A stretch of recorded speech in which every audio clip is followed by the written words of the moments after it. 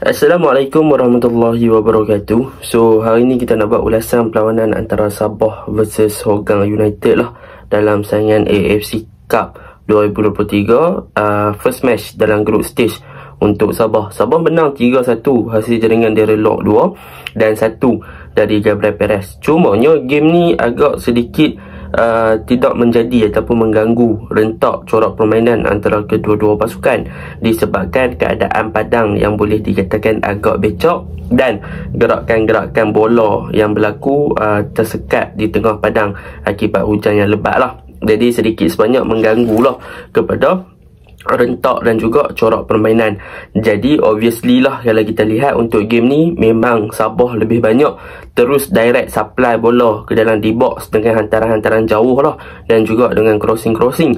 Sebab nak main secara bola di darat ataupun uh, bola bawah memang sukar sebab ball progression tersebut akan terganggu dengan uh, keadaan padang yang uh, basah lah. Wah, jadi benda tu kita sebagai fan pun faham lah. Jadi tanpa membuang masa Mari kita masuk ke dalam ulasan perlawanan. Untuk ulasan perlawanan kali ini, saya akan mulakan dengan pasukan Sabah. Baiklah, untuk pasukan Sabah pada perlawanan ini, nampaknya mereka kembali kepada formation yang asal, iaitu dengan penggunaan 3. Jadi, dengan penggunaan 3 ini adalah perkara yang positif kepada pasukan Sabah. Kalau kita lihat untuk game ni, memang Pak Tesu yang bertindak sebagai center back, Gabriel Perez akan lebih kepada belah kiri dan Dominic Tan akan lebih kepada bahagian kanan. Jadi, kita boleh nampak sebenarnya apabila uh, pembentukan bateri oleh pasukan Sabah ni banyak membantu pergerakan build dari bahagian bawah lah. Kalau kita lihat di first half kebanyakannya pasukan Sabah akan menggunakan dominitan untuk push ataupun advance lebih forward ke hadapan dan membantu bahagian tengah serta bahagian winger di kawasan area half space. Disebabkan itulah kita boleh nampak yang dominitan banyak naik untuk uh, dengan lebih tinggi dan banyak untuk crash the box ataupun berada dalam kotak penalti lah. Tetapi bila masuk second half kita boleh nampak pula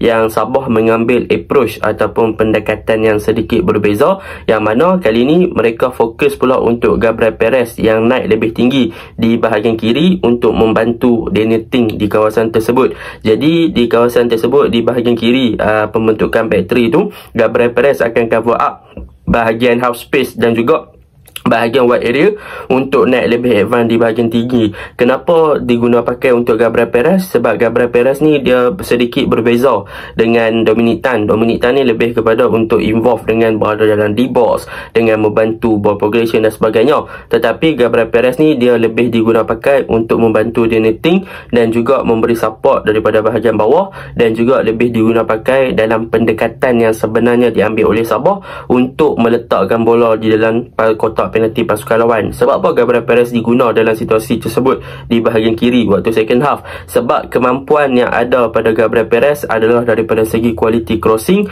dan juga ball control yang bagus walaupun bertindak sebagai uh, centre back tapi dia ada crossing yang on point lah. And jadi disebabkan itulah di second half kita nampak banyak penlibatan Gabriel Perez di second half yang memberi support kepada Danny Ting untuk naik lebih tinggi lah di kawasan tersebut disebabkan kelebihan yang ada pada Gabriel Perez dan dia juga adalah adalah seorang typical player yang mempunyai kekuatan di bahagian kaki kiri dan juga boleh dribble sebagai ball playing defender. So benda tu positif untuk pasukan Sabah. Jadi pendekatan yang diambil oleh mereka first half guna Dominic Tan untuk Evan di bahagian kanan, di kiri uh, di second half uh, lebih fokus kepada Gabriel Perez untuk di bahagian kiri. So dua-dua tu boleh outcome yang uh, positif dan juga pendekatan yang berbeza dengan kelebihan yang apa ada pada dua center back dan Pat Tesu macam biasalah dia akan cover up bahagian defend dan untuk game ni juga juga.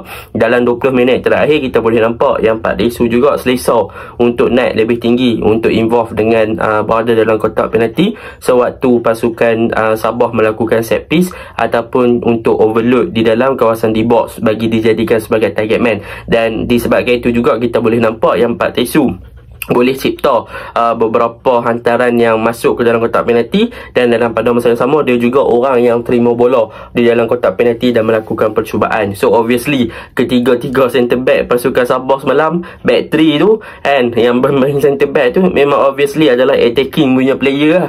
And memang diguna pakai dalam pendekatan Sabah untuk bermain secara menyerang bukan sahaja secara bertahan. So that is a good thing lah tentang apa yang Datuk Kim Si buat untuk pasukan Sabah tentang back 3 dan untuk wingback mereka iaitu Riza Ghazali dan juga Danny Ting.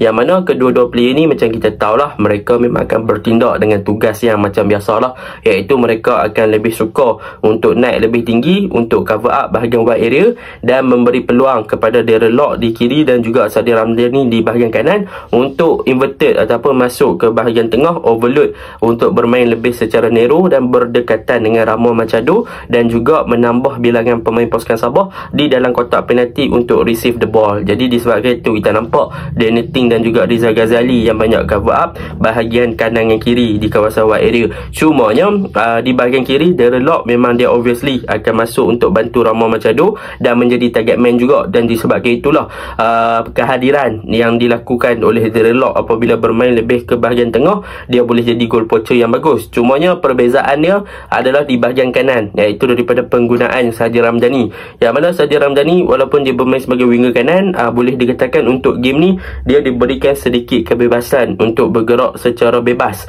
Yang mana dia bukan sahaja cover di bahagian half space kanan tetapi dia juga masuk kepada central area dan juga dia masuk ke bahagian kiri untuk bantu dia netting. So obviously kalau kita ada heat map punya progress.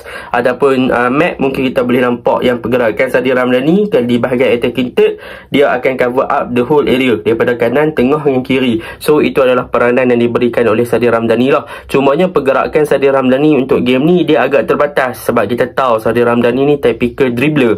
Uh, seorang winger yang suka untuk bawa bola dan uh, sebagainya. Tetapi disebabkan keadaan padang yang basah macam saya cakap pada awal tadi uh, orang kata apa? Nak utilize the full potential daripada Sadi Ramdhani Ramdhani tu sedikit uh, tak tidak boleh lah sebab keadaan padang macam tu. Banyak gerakan kadang-kadang uh, tiba-tiba tersangkut kan. Disebabkan itu juga pemain-pemain lawan berjaya untuk recovery dengan baik. Uh, tu uh, kita tak boleh nak kata banyak lah. Dan untuk game ni juga kalau kita lihat di bahagian tengah penggunaan daripada Cifuentes dan juga uh, Stuart Wilkin kedua-dua player ni main uh, sebagai double pivot uh, ataupun lebih kepada 2 cm lah. Kan tetapi uh, boleh saya katakan dalam pembentukan back 3 ni sebenarnya kedua-dua pemain ni agak selesa sebenarnya bila bermain dengan back 3 dan ada uh, dua center back iaitu Dominic Tan juga Gabriel Perez yang ber, ber, berminda menyerang. Sebab apa sebab mereka membolehkan untuk uh, Sifu dan juga Stuart Wilkin untuk involve dengan banyak pergerakan di kawasan keseluruhan di kawasan tengah dan juga di final third ataupun attacking third pasukan Sabah lah. So benda tu positif side untuk pasukan Sabah apabila Stuart dan juga Cifuentes banyak bergerak dalam game ni tu. Utamanya Cifuentes lah. Boleh saya katakan work rate dan juga dia punya uh, pergerakan memang tidak terbatas. Dia banyak bergerak uh, dalam banyak area untuk mendapatkan bola dan sebagainya dan membebaskan Stuart untuk cover up defend dan juga untuk naik sekali sekala so benda ni positif untuk pergerakan Sabah dalam uh, game ni.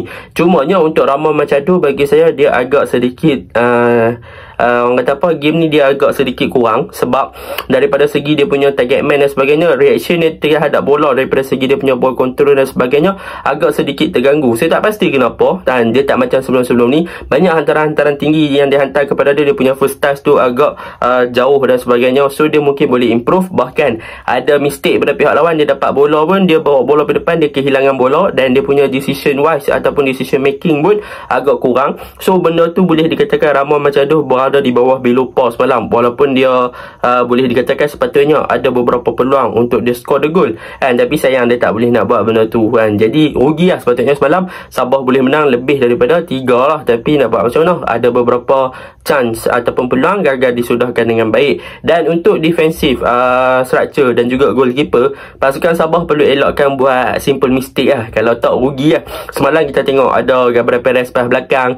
Dia melim boleh uh, apa terlepas bola tu Nasib baik Pak Tesu boleh halang kawan tu daripada shooting kan uh, block. So benda tu kena perbaiki sikit perkemaskan sikit uh, supaya tak terlalu santai. And jadi jangan bagi ruang jangan buat simple mistake lah di bahagian pertahanan. Apabila mereka dah terlebih menyerang jangan pula lupa di bahagian bawah. Uh, itu je lah ulasan saya. Assalamualaikum. Tahniah menang game pertama